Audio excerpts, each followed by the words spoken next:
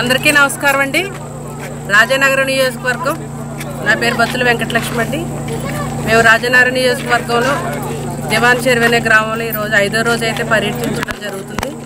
ఇక్కడైతే ఎవరికి కూడా ఇళ్ళ స్థలాలు ఇవ్వలేదు. అలాగే డ్రైనేజీలు లేవు. రోడ్లు కూడా లేవు. మేము పగల నడుస్తుంటేనే పడిపోతున్నాం. అలాంటిది నైట్ టైం ఇక్కడికి రావాలంటే జనాలు చాలా ఇబ్బంది పడతారు. మేము తిరిగిన ప్రాంతంలో అయితే ఒక్క డ్రైనేజీ లేదు ఒక్క రోడ్ లేదు. ఇక్కడ దాదాపు ఒక ఎనిమిది వందల ఇళ్ళు వరకు ఉంటాయి ఇక్కడ. మేము నిన్న ఈ రోజు పర్యటించినవి అయితే మొత్తానికి ఎనిమిది వందల గృహాలు అయితే ఇక్కడ ఉంటాయి.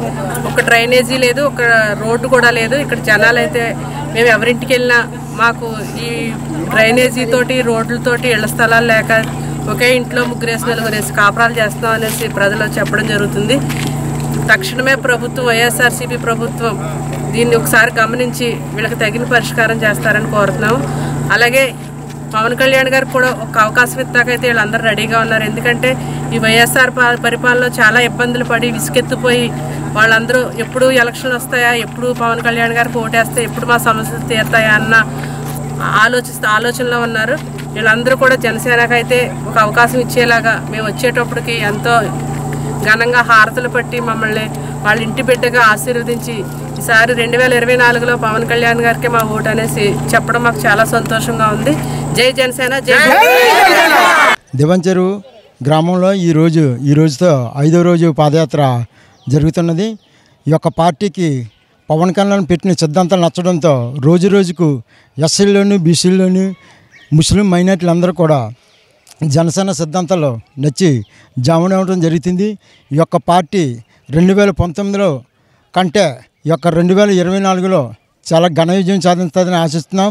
ఎందుకంటే ఎక్కడ కష్టమున్నా నేను ఉంటానని బొత్తుల బలరామకృష్ణ గారు వచ్చి భరోసా ఇస్తున్నారు.